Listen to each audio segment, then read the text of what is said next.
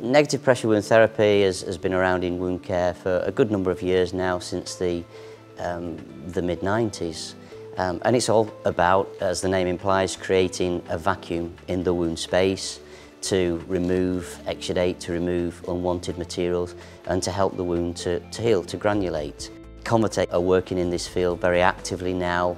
Over the years, negative pressure systems from large bulky systems have, have been miniaturized to, to give patients more mobility and that's what we're doing with, with the product that we currently have in development. It's a miniature device. What's very important about this device also is the wound contact surface. So of course you need to create a seal around the wound so you can create the vacuum. What we have uh, with our product is the, is the hydrofiber technology, which is very, very special in the way that it absorbs wound fluid. So in terms of that wound interface layer for our negative pressure wound therapy system, we do have something that, that's highly innovative.